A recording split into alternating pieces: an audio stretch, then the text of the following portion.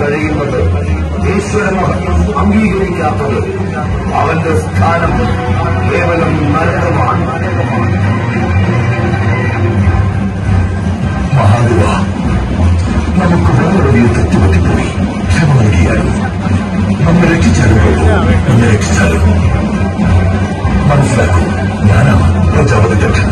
ദക്ഷൻ നമ്മുടെ രാജ്യസഭയിൽ അങ്ങയ്ക്ക് يحكم الأمر مغاربة دعم مكة يستولون ويستعمرون